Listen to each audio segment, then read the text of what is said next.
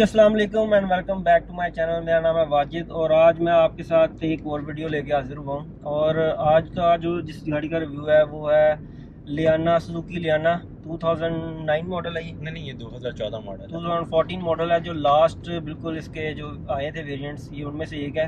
वैसे ही 2004 के अंदर लियाना पाकिस्तान में इंट्रोड्यूस हुई थी और उसके बाद 2009 में इसका फेसलिफ्ट आया था।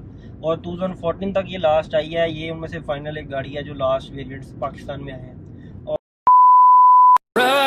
Till I can't no more. I got the horses in the back. Horse stock is a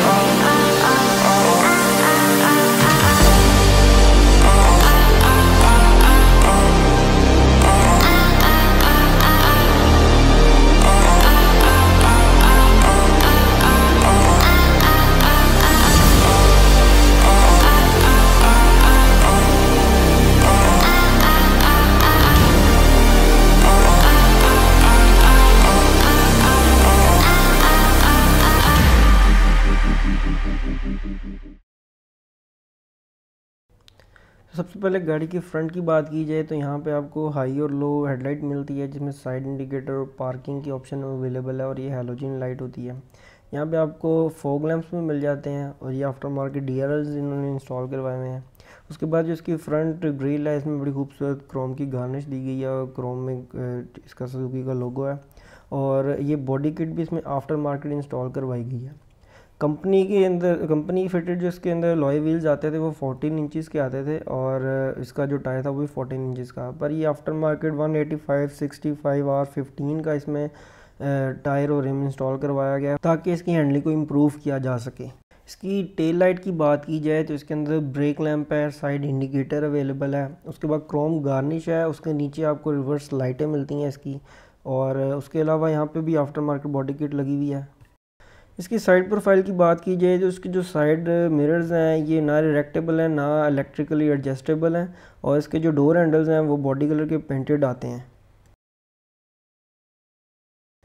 ये इसकी ओवरऑल इंजन बे है और उसके ऊपर आपको यहाँ पे इंसुलेशन मिल जाती है। इंजन कैपेसिटी इसकी 1328 सीसी है। Cylinder configuration inline four cylinder आते हैं इसमें और वेल्व मैकेनिज़्म जो इसका है डॉक 16 वॉल्व है। पर सिलेंडर फोर वॉल्व होते हैं। It produce 92 HP at the rate of 5800 RPM और 118 newton metre of torque at the rate of 4200 RPM steering rack इसके अंदर जो सा हाइड्रोलिक आता था। अब इसके ट्रंक की बात करें तो बैक साइड पे आपको कोई इंसुलेशन नहीं मिलती इसकी ट्रंक के ऊपर। और ये इसके, ये जो आर एक्स आई मॉडल था, ये कंपनी फिटेड सीएनजी के साथ आता था तो ये कंपनी ने इसके अंदर दो सीएनजी के सिलेंडर दिए थे, जो कि बड़ी अच्छे तरीके से यहाँ पे पीछे माउंट किए गए हैं और काफ़ी अच्छा स्पेस को यूटिलाइज़ किया गया है। और यहाँ पर ऊपर आपको एक लाइट मिल जाती है, इसके पीछे स्पीकर हैं। यहाँ पे साइड पे आपको कंपनी ने यहाँ पे इसकी टूल किट दी है। स्पेस को बड़ा अच्छा यूटिलाइज़ किया गया है, एक साइड पे उन्होंने टूल किट दी है इसकी। और इसके नीचे यहाँ पे आपको इसकी स्पेयर व्हील वगैरह मिल जाएगा। अभी सामान वगैरह पड़ा हुआ है तो मैं अभी आपको उठा के नहीं दिखा सकता। ये सब कुछ बाहर निकालना पड़ना था। मतलब अच्छी खासी डिसेंट स्पेस है, इसमें दो सिलेंडर लगे हुए हैं, उसके बावजूद इसके अंदर काफ़ी अच्छी खासी स्पेस है।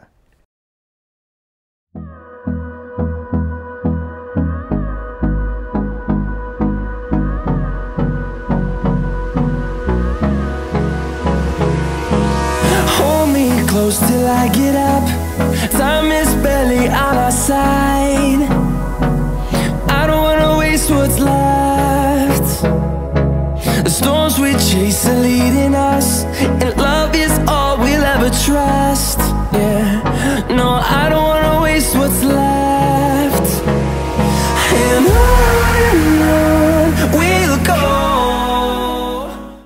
जी ड्राइविंग साइड की बात करें, यहाँ पे वन टच ऑटो एक विंडो मिलती है, बाकी तीन मैनुअल है स्पीकर ग्रिल मिलती है डोर बिन मिलती है, पर इसमें कोई बोटल वोटर की जगह नहीं है।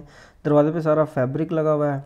उसके बाद सीट में इसकी कोई हाइट एडजस्टमेंट वगैरह नहीं है मैनुअल सीट है सिंपल यहाँ पे आपको इसका फॉग का बटन मिलता है फॉग लैम्प का। यहाँ पे सी का ओरिजिनल जो आया था बटन है ए की डक्ट मिल जाती है। इसके मीटर की बात की जाए तो इसके लेफ़्ट साइड के ऊपर यहाँ पर आपको हीट की गेज मिलती है, आरपीएम मीटर मिलता है, राइट साइड पे स्पीडोमीटर है और फ्यूल की गेज मिलती है। उसके अलावा इसके अंदर दरमियान में इंडिकेटर्स का बटन है। उसके बाद यहाँ पे सिर्फ़ ए, ट्रिप बी और कितने किलोमीटर चली है सिर्फ़ ये दिखाता है। जिस टाइम की ये गाड़ी है तब कोई रेंज या किलोमीटर एवरेज वगैरह कुछ भी नहीं दिखाता था। उसके बाद सेंट्रल कंसोल की बात की जाए तो यहाँ पे सबसे पहले देखें तो इस टाइम के अंदर जो सबसे यूनिक फीचर इसमें आता था, इसमें आउटसाइड टेम्परेचर था, दरमियान में इसकी डिजिटल क्लॉक थी। इस टाइम जितनी भी गाड़ियाँ आती थी करोला या सिटी वगैरह, उनमें आउटसाइड टेम्परेचर का कोई कॉन्सेप्ट नहीं था। यहाँ पर आफ्टर मार्केट दरमियान में एक एलसीडी लगी हुई है रिवर्स कैमरे के लिए। उसके बाद इसका ये एनालॉग इसका जो एसी है, और उसके बाद यहाँ पर दो कप होल्डर्स मिल जाते हैं आपको। और दरमियान में भी थोड़ी सी स्पेस है चीज़ वगैरह रखने के लिए। यहाँ पे आपको इसका सिगरेट लाइटर मिलता है और एक एस्ट्रे मिल जाती है। उसके बाद ये इसकी गेयर नोब है। यहाँ पे भी आपको कॉइन्स वगैरह रखने की जगह मिलती है। सेंट्रल कंसोल कोई नहीं आता और पीछे एक बॉडल होल्डर मिलता है। इसके डैशबोर्ड की क्वालिटी की बात करें तो ये थोड़ा सा सॉफ्ट मटेरियल है। मतलब हार्ड प्लास्टिक नहीं है, लेकिन बाकी ओवरऑल इसके नीचे सारा हार्ड प्लास्टिक ही है।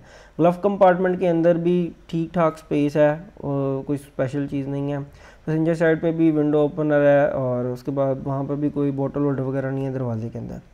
यहाँ पे कोई आपको लाइट नहीं मिलती, इसका जो लाइट है वो दरमियान में आती थी पहले और उसके बाद यहाँ पे आपको जो इसकी वैनिटी है, दोनों ये सन वाइजर्स के अंदर मिल जाती है इसके ऊपर कोई लाइट वगैरह अवेलेबल नहीं है, ना पैसेंजर साइड पर ना ड्राइविंग साइड के ऊपर। बैक डोर की बात करें तो यहाँ पे आपको कोई स्पीकर ग्रिल नहीं मिलती सिंपल एक विंडो का बटन है और एक डोर ओपनर लगा हुआ है, उसके अलावा कुछ भी नहीं है। उसके बाद इसी तरह ये गाड़ी के अंदर जाते हैं। तो यहाँ पे दरमियान में आपको एक हम देखने को मिलता है गाड़ी के। और इसकी बैक साइड के ऊपर इसके दो स्पीकर आते हैं, दरवाज़ों के अंदर नहीं आते। और पीछे एक ब्रेक लैम्प पे मिल जाता है आपको। उसके बाद इसमें लेग स्पेस की बात करें तो लेग स्पेस इसमें अच्छी खासी है। कोई लेग स्पेस का इशू नहीं है। हेडरूम भी बहुत अच्छा इसकी रूफ थोड़ी सी बड़ी थी, ऊँची थी। और उसके अलावा दरमियान में बात करें तो इसका यहाँ पे आपको आमरेस भी मिलता है, जो बड़ा स्लीक स्लिम साइज़ का है। यहाँ पे इसके अंदर एक बोटल होल्डर भी बना हुआ है जिसके अंदर आप कुछ हाफ़ लीटर या कोई भी बोतल रख सकते हैं। आज हमारे साथ मौजूद हैं याद अहमद साहब तो ये इस गाड़ी के ओनर हैं और आज इनसे पूछेंगे कि इन्होंने ये गाड़ी किस प्राइस में ख़रीदी थी और इन्होंने ख़रीदते हुए इस गाड़ी के अलावा और किसी गाड़ी को कंसिडर किया था कि इनके माइंड में सिर्फ़ ये था कि इन्होंने लेना बाय करनी है। जी याद साहब कैसे हैं आप? जी जी ठीक ठाक अल्लाह का शुक्र याद साहब मुझे कहने बताएँ कि आपने ये गाड़ी कौन से ईयर में बाय की थी? और आपने जब ये बाय की थी तो आपने किसी और गाड़ी को कंसिडर किया था इस प्राइस रेंज के अंदर? वैसे मैं लेने तो जो गया था वो मैं गया था सुजुकी स्विफ्ट माइंड मेरा यही था कि मैं सुजुकी स्विफ्ट लेना चाहूँ अच्छा आपका बजट क्या था? प्राइस रेंज क्या था था तकरीबन कोई ग्यारह लाख के करीब बजट और एयर कौन सा था जब आपने बाय की थी? मैंने ये तकरीबन बाय की हुई है दो हज़ार पंद्रह में। दो हज़ार पंद्रह हाँ जी तो ये तकरीबन एक साल यूज़ थी। एक साल यूज़ होगी और मेरे पास जब ये गाड़ी आई तो सिर्फ़ सात हज़ार किलोमीटर चली गई थी। ठीक है। और अब आपने कितनी ड्राइव कर ली हुई मैंने तकरीबन किस वक्त कर ली हुई है? नाइन्टी वन थाउज़ेंड के करीब यानी कि आप इसको बिल्कुल जो इसकी एक्सपर्टीज़ है वो सारी हमें बता सकते हैं अच्छा। अच्छा मुझे बताएँ कि इससे जो पहले जो इसका फेस लिफ्ट से पहले टू नाइन से पहले जो लियाना थी R X I L X I और एक एमिनेंट आती थी वन पॉइंट सिक्स और इस इन गाड़ियों के अंदर जो सा मतलब काफ़ी ज़्यादा इश्यूज़ वगैरह थे, जैसे इसका इंजन के अंदर इसके जनरेटर का इशू था, उसके बाद इसकी स्टार्टअप का एक इशू आता था उसके बाद जो सबसे बड़ा है इसमें इशू ये था कि गाड़ी जो सी है सी एन जी पे मिसिंग करती थी और कभी स्टार्ट नहीं होती थी। मतलब इस इस तरह के काफ़ी ज़्यादा लोगों को इशू और इसके गेयर बॉक्स का बहुत ज़्यादा इशू था। तो टू नाइन के बाद जब ये वाला मॉडल आया था तो इसमें कोई इन्होंने चेंजिंग वगैरह की थी? वैसे ऐसा अच्छा कि मैं देखूँ तो लियाना मेरा पहला एक्सपीरियंस है जो मैंने लियाना ली। मैं लेने वैसे इस वेरिएंट का नाम क्या है मॉडल क्या है? बेसिकली है लियाना आर एक्स आई है बेसिकली लेकिन ये लियाना वर्ब एडिशन जो आया था इनका जो लास्ट में वर्ब एडिशन आया। अच्छा मुझे काइंडली बताइएगा जो फ्रंट में सबसे पहले फ्रंट में मुझे बताइएगा कि इसमें जो फ्रंट में जो पुरानी लियाना और इसमें क्या डिफरेंस है हेडलाइट्स में या ग्रिल में? थोड़ी सी? हेडलाइट्स के अंदर चेंजिंग है फ्रंट ग्रिल चेंज है फ्रंट बम्पर चेंज है। फॉग लैंप उसमें भी आते थे इसमें भी आते थे। इसमें भी आते थे इसमें भी आते हैं। वो सेम ही है। बाकी मैंने तो कुछ मॉडिफिकेशन खुद की हुई है। जैसे कि आपने उसमें डीआरएल्स लगाए हुए हैं। डीआरएल्स लगाए हुए हैं। मैंने इसके अंदर जो बॉडी किट जो है वो अच्छा, ये भी लगाई market है, आफ्टर मार्केट बॉडी किट लगी हुई है इसके अंदर फिर आफ्टर मार्केट अलॉयरम लगे हुए हैं थोड़ी सी एक्सटेंशंस लगी हुई हैं। अच्छा और जो बैक साइड है बैक साइड में क्या चेंजिंग की गई थी? बैक साइड के अंदर टेल लाइट चेंज है इसकी थोड़ा अच्छा सा इसका ट्रंक के अंदर चेंजिंग है जो ट्रंक के ऊपर क्रोम लगा हुआ है क्रोम की पट्टी है वो चेंज है। अच्छा। जी हाँ बस ऐसा कोई मेजर चेंज नहीं है। हाँ, मतलब लाइट्स का और वैसे हाँ चेंज है। लेकिन ये जो वर्ब एडिशन आया था ना इसके अंदर जो है पेंट जी, लेना वैसे जो वाइट आता था तो मेरे ख्याल में टेफ्टा वाइट आता था जो करोला के ऊपर आता हाँ है जी हाँ जी। ये बिल्कुल प्योर Supreme white वाइट है। ना जी हाँ ये वो पेंट है जो आजकल जो Curtis देता है, हाँ जी, white Honda का और Supreme का जी है। जी अच्छा और मुझे बताइएगा अंदर इसके आए तो यहाँ पे जो इसकी विंडोज़ हैं इसमें वन टच ऑटो है बाकी तीनों नॉर्मल है? जी हाँ उसमें सेंट्रल लॉकिंग है। और लॉक और अनलॉक विंडो का बटन है और उसके अलावा इसके मीटर के अंदर आ जाए तो इसमें आरपीएम मीटर है स्पीडोमीटर है और इसमें हाँ। ट्रिप इसमें कोई रेंज बताता था फ्यूल रेंज इस टाइम इसके अंदर फ्यूल रेंज नहीं बताता। सही है फ्यूल की है और हीटअप की भी गेज है मेरे ख्याल में? फ्यूल की भी है हीटअप की भी गेज है। अच्छा उस उस टाइम पे जब ये गाड़ी 2004 से जब लॉन्च हुई थी, उस टाइम की जो जितनी गाड़ियाँ थी, उनके अंदर यहाँ पे ये जो आउटसाइड टेम्परेचर है क्लॉक थी, ये नहीं आती थी। लियाना के अलावा ये सबसे पहले लियाना नहीं हाँ जी लियाना में लोकल का, कार्स में सबसे पहले लियाना में आया था। उसके बाद आप इसकी मतलब ये बाकी इंटीरियर की बात करें तो बाकी इंटीरियर में कोई चेंजिंग वगैरह थी पुरानी लियाना में और इसमें?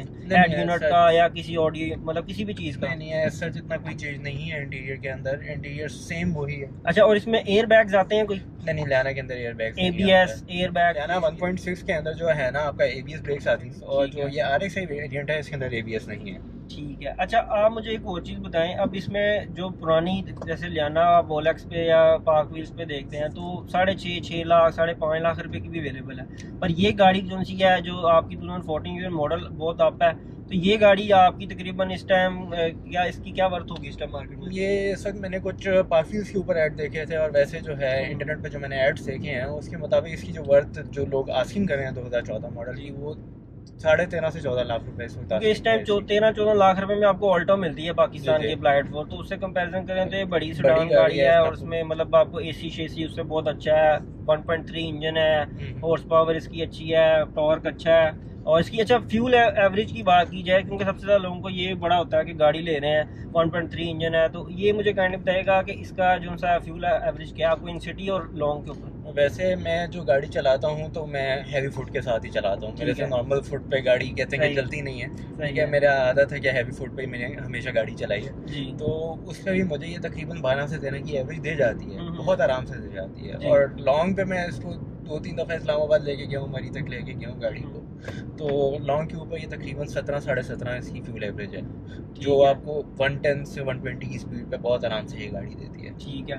और मुझे काइंडली बताइएगा कि अच्छा आप बता रहे थे मैंने इस गाड़ी में थोड़ी सी इंजन में थोड़ी सी मॉडिफिकेशन करवाई हैं प्लग्स और ट्यून अप करवाया है। तो ज़रा काइंडली मुझे ये थोड़ा सा इसको एक्सीलेट करके दिखाते हैं कि इसका इंजन का साउंड हम चेक कर लें और साउंड डैम्पिंग देख लें कि इंजन की कितनी को आवाज़ आती है इसके अंदर आओ आगे देखो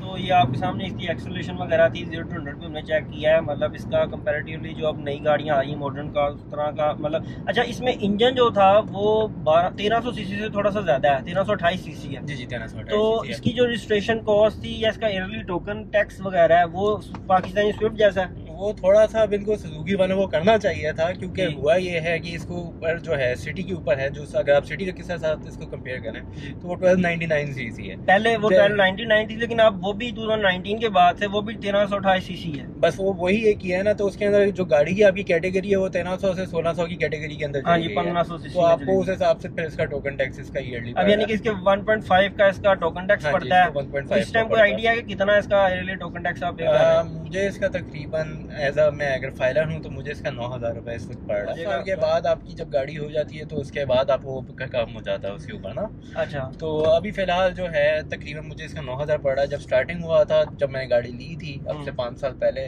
तब मैंने बारह हज़ार रुपये इसका पे किया। अच्छा मुझे ये बताएँ कि लॉन्ग जर्नीस के ऊपर आप इसमें पाँच अडल्ट बढ़ा के लेके जा सकते हैं जो इसकी पीछे लेग रूम वगैरह है। वो किस तरह की है? मतलब उसमें आप पाँच अडल्ट आराम से कैरी कर सकते हैं? अडल्ट आराम से इसके अंदर कैरी हो जाते हैं पीछे लगेज भी आ जाता है सच कहीं पे भी कोई मसला नहीं हुआ। क्योंकि पीछे इसका जो फ्लोर है वो स्ट्रेट फ्लोर नहीं है उस जी, दरमियान में हाँ उसके साथ तीसरे बंदे को कोई प्रॉब्लम तो नहीं होती? लेकिन ये दोनों सीट्स के अंदर जो हमारी जो स्पेस है वो इतनी है कि अगला बंदा बीच में जो बैठा होता है उसको कोई मसला नहीं होता इसके अंदर। है। अच्छा और इस गाड़ी के अंदर मुझे ये बताइएगा कि कोई ऐसी चीज़ जो आप फील करते हैं कि उस टाइम के हिसाब से भी जब गाड़ी थी ये इसका कंपटीटर्स थे करोला था इसकी सिटी थी सिविक वगैरह के साथ कम्पीट इसका कंपटीशन था तब। तो इसमें कोई ऐसी चीज़ जो आप कह देंगे वो चीज़ें होनी चाहिए कि ये चीज़ में मिसिंग है ये इसमें दे देते तो अच्छा एड ऑन था एक।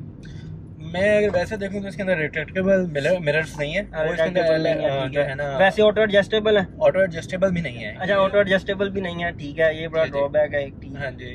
अच्छा। हाँ जी। और उसके बाद मैं देख रहा हूँ कि आर्म रेस्ट भी नहीं दिया गया। आर्मरेस्ट भी नहीं दिया गया। वैसे ऐसे अगर वैसे उस 2006 के अंदर जब ये पाकिस्तान में लॉन्च हुई थी ठीक है उस हिसाब से कंपेयर करें तो इसकी कंपटीटर बनती है सिटी सिटी दो करोला एक्सल आई और जीएल आई उसके साथ अगर कंपेयर करें तो उस लीग के अंदर इसके अंदर काफ़ी ऐसे फीचर्स थे जो उसके अंदर नहीं है। जैसे देखिए इसके अंदर ये डिजिटल इसका एसी का कंट्रोल पैनल है। ये उनमें आता था मैनुअल ये सारा डिजिटल है इसके अंदर। अच्छा जैसे नॉब्स तो इसकी वो क्लाइमेट कंट्रोल वाली नहीं है ये- ऑटोमेटिक ये क्लाइमेट कंट्रोल वाली ही है क्योंकि अगर आप इसको वैसे अगर चेक करें या ये इवन के गाड़ी के अगर आप आपके पास कोई टूल पड़ा हुआ है जिस तरह से आप। ओबीडी स्कैनर के साथ तो ये आपको सारा का सारा जो इसका है वो आपको ओबीडी स्कैनर के अंदर आपको शो करती है ठीक है यानी कि वैसे डायल जिसके मैनुअल जैसे हैं लेकिन है ये क्लाइमेट कंट्रोल वाला ऑटोमेटिक है। कंट्रोल वाला है ठीक है हाँ? उनमें मैनुअल डायल आते थे वो आपको ओपीडी पे कोई रेटिंग वगैरह नहीं देखा। देता था। ठीक है। हम्म। और उसके अलावा मुझे बताइएगा कि मतलब उन गाड़ी में आर्मरेस्ट वगैरह था इसमें वो भी नहीं है। और उसके अलावा एबीएस ब्रेक्स उसकी जीएलआई में आती थी मेरे ख्याल नहीं उसकी जीएलआई में भी नहीं थी 2006 वाली में। 2006 सिटी के अंदर में नहीं थी नहीं थी। अच्छा इसलिए कि किसी गाड़ी में एबीएस वाला मज़ाक था ही नहीं। जी जी एबीएस के अंदर ऐसा मज़ाक। कंपनी नहीं करती थी। नहीं, नहीं, लेकिन 1.6 वो मेरे ख्याल था, वो जैपनीज वेरिएंट था। जी हाँ वो जापानीज वेरिएंट था उसमें आता रहा है। और ये- ये लोकली मैन्युफैक्चर्ड जो गाड़ी थी वो वाले। जी जी। अच्छा और उसके अलावा आप मतलब आप चाहते हैं कि उस टाइम अगर होता तो उसमें एयर बैग भी थे जो उसका जो नहीं नहीं नहीं एयर बैग आए नहीं है नैना के अंदर। किसी भी मॉडल में नहीं जापानीज नहीं है। अच्छा और मुझे अब ये बताइएगा कि इसकी जो आप मंथली इसकी जो मेंटेनेंस करवाते हैं एवरी फाइव थाउज़ेंड किलोमीटर पे तो वो उसके ऊपर आपको क्या कॉस्ट आ जाती है? तीन हज़ार से पहले पहले तीन हज़ार जैसी टच होगा तो मैंने ऑयल चेंज करवाना होता है। है। तो ऐसा मेरा यूज़ इतना भी नहीं है। पर आपको तो क्या कॉस्ट आ जाती है? तकरीबन आप कहने के ऑल ओवर मेंटेनेंस तीन महीने के बाद मुझे फाइव थाउज़ेंड इसकी पड़ती है। उसमें ऑयल चेंज है ऑयल फ़िल्टर है एयर फ़िल्टर है। एयर फ़िल्टर है बाकी नॉर्मल ट्यून अप है वैसे ही जो छोटे मोटे काम होते हैं जिसके अंदर आप ईयरली आप कहने कि मुझे बीस हज़ार रुपए का खर्चा पड़ता है अच्छा और और जो इसके अंदर इसका- ब्रेक्स कैलिपर वगैरह सब कुछ। Brake Included pad. वगैरह सब कुछ इंक्लूडेड है। अच्छा मुझे पार्ट्स की बताइएगा कि जो इसके जैसे ब्रेक कैलिपर्स की बात की है ब्रेक पैड्स की बात की है या इसकी लाइट है या इसकी जो स्पेयर पार्ट्स हैं उसकी अवेलेबिलिटी कैसी है उनकी प्राइसिंग कैसी है? इसके अंदर वैसे जो है काफ़ी लोकल मैन्युफैक्चरिंग कंपनीज़ हैं जो इसके पार्ट्स बना रही हैं। और वैसे भी आपको क्योंकि बाहर से भी जापान से भी इम्पोर्ट हुई गाड़ी तो इसका जो बिलालगंज से भी लाहौर जो बिलालगंज है वहाँ पे भी आपको इसका हर तरह का पार्ट और वो एक्सपेंसिव है। कि मतलब नॉर्मल है? एक नॉर्मल रेंज के अंदर है। इवन अगर मैं आपको आज की जो गाड़ियाँ हैं जिस तरह सिविक रिबॉन और इस तरह के इनके पार्ट्स बहुत महँगे हैं। एज कंपेयर टू लियाना इसके पार्ट्स सस्ते हैं। वो बस एक लोगों के अंदर वहम बैठा हुआ कि लियाना का पार्ट नहीं मिलता। लियाना बहुत महँगी गाड़ी है ये है इसने पाकिस्तानी मार्केट में जगह नहीं बनाई थी लेकिन फिर भी कंपनी इसको 10 साल खींचा है। ये ऐसा मॉडल नहीं था कि कंपनी इसको डिसकंटिन्यूस 2014 में किया 2004 से। हम्म। तो इसलिए गाड़ी आपको इसकी रोड प्रेजेंस काफ़ी ज़्यादा है। रोड के अंदर आपको मतलब अच्छी खासी गाड़ी चलती फिरती नज़र आती है जैसे इनकी लेटेस्ट गाड़ी अभी आई हुई है हम्म। सियाज वो आपको इतनी ज़्यादा रोड पे नज़र नहीं आती। जी जी। ये कंपेयर करें उसके साथ तो ये उस दस साल सुजुकी ने चलाई है वो बहुत जल्दी डिसकंटिन्यू कर दी है। तो उसके पार्ट्स का मेरे ख्याल इशू होगा इसके पार्ट्स का कोई इशू नहीं होगा। जी जी। इसका इतना सच पार्ट्स का कोई इशू नहीं है। मुझे पिछले दिनों थोड़ा सा बस है कि ज़रूरत पड़ी थी। अ, मैंने बुश टुश चेंज करवाने थे और उसके suspension के। के। तो मैंने बस सीधा गया हूँ बिलालगंज। बिलालगंज में मैंने पहले ही मैंने अंदर एंटर ही हुआ तो मुझे शॉप मिल गई है। वहाँ से मैंने इसके ले लिए। अच्छा मैं बड़े आराम से मिल जाते हैं व्यूअर्स को बताना चाहूँगा कि इसके अंदर जो फ्रंट के ऊपर है ना वो मैक मैक पर्सन के वो आते हैं सस्पेंशन और जो मैक पर्सन के सस्पेंशन होते हैं ये लो एंड कार जैसे जो नॉर्मल यूज़ वाली गाड़ियाँ होती हैं उनमें आती हैं हाई एंड कार में सस्पेंशन यूज़ नहीं किया जाता। इसके कुछ फ़ायदे भी हैं और कुछ नुकसान भी हैं। इसके फ़ायदे ये हैं कि ये इसकी मेंटेनेंस कॉस्ट कम है इसमें पार्ट्स बहुत कम यूज़ किए गए हैं और इसका जो मतलब रेशो है ना मतलब स्पेस है वो बहुत कम है। ये छोटी सी स्पेस में भी यूज़ हो जाता है। आपकी हैंडलिंग में काफ़ी ज़्यादा फ़र्क पड़ता है। जैसे आप हाई स्पीड पे जा रहे हैं किसी खड्डे पे लग रहे हैं तो इसके जो टायर है ना वो बिल्कुल स्ट्रेट ऊपर नीचे मूव नहीं करता बल्कि वो इनवर्ट अंदर की तरफ़ मूव करता है। इसका जो कैम्बर है जी, वो- थोड़ा सा जी आउट हो जाता है उसकी हाँ वजह से। तो उससे इसकी रोड ग्रिप में और इसकी हैंडलिंग में काफ़ी ज़्यादा फ़र्क पड़ता ऐसे है। अगर हम देखें तो मार्केट के अंदर ना इस गाड़ी को जितना लोगों ने एक बनी हुई है कि लेना हीट अप होती है। हाँ जी। ये अच्छा ये मुझे बताइएगा जो फोर्ड से जैसे मैंने मैं आपको बताया मैंने 2007 में रखी थी हम्म, तो उसमें मुझे प्रॉब्लम यह आता था कि सीएनजी पे स्टार्टअप में बहुत इशू था।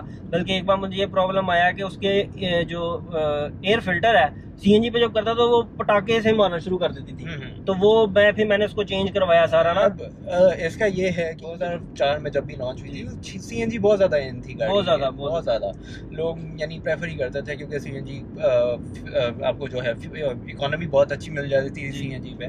तो उस वक्त सुजुकी ने पहली दफ़ा जब लैना के अंदर प्रॉपरली जो फिटेड जी होती है वो इंट्रोड्यूस इंट्रोड्यूस जो कि करवाई। Leana कंपनी फिर इतनी बड़ी गाड़ी में हाँ जिस तरह आपके फ्यूल इंजेक्टर होते हैं उस तरह इसके अंदर सी एन जी इंजेक्टर लगाए गए थे पूरी proper C N G kit बना के लगाई गई थी ऑटोमेटिक वो भी। ऑटोमेटिक वो। जी।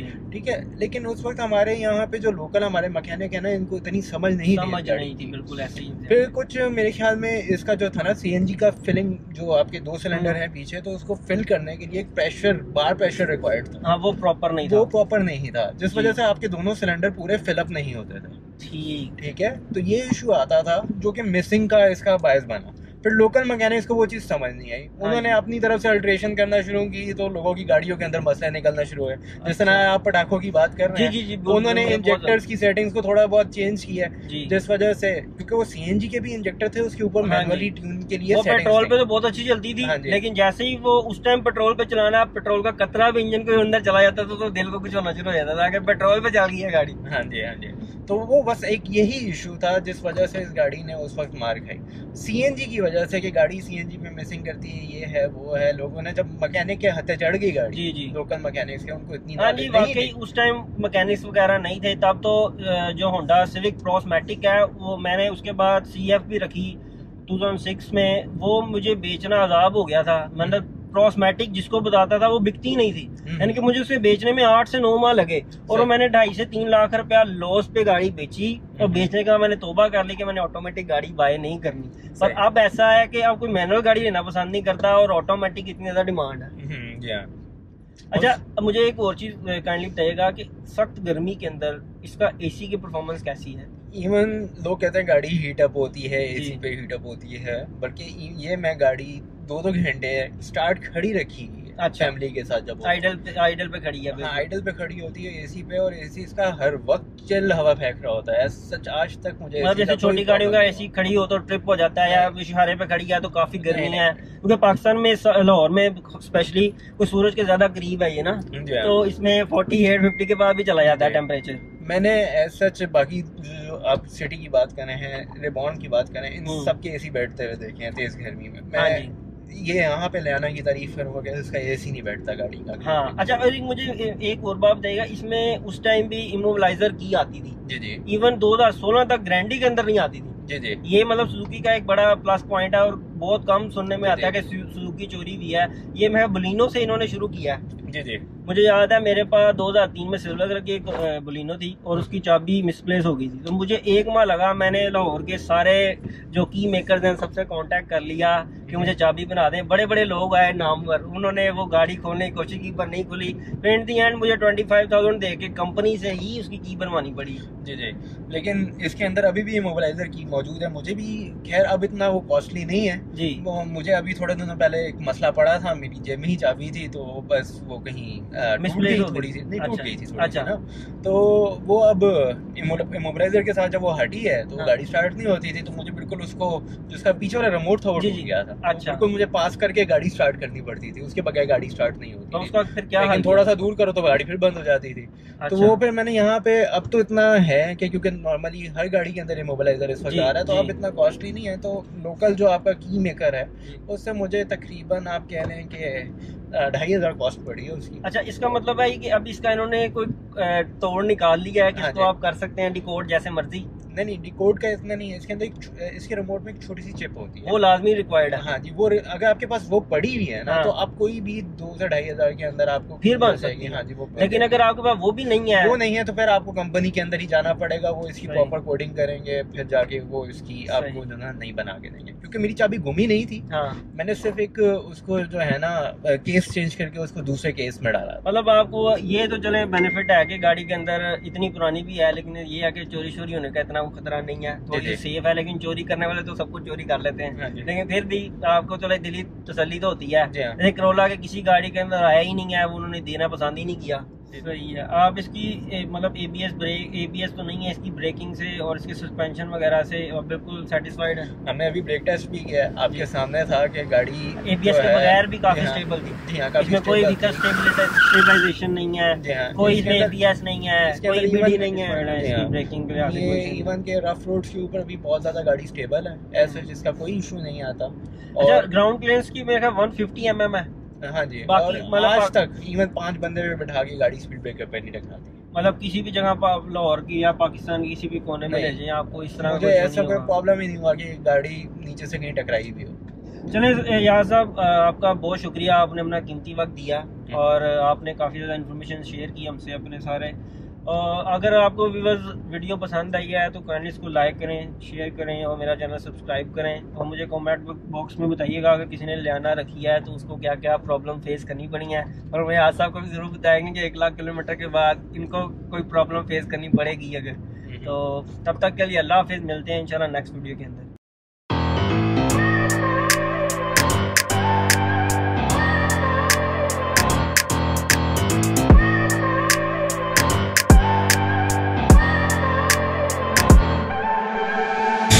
Look at people and I wonder all day Who are you and you and not the one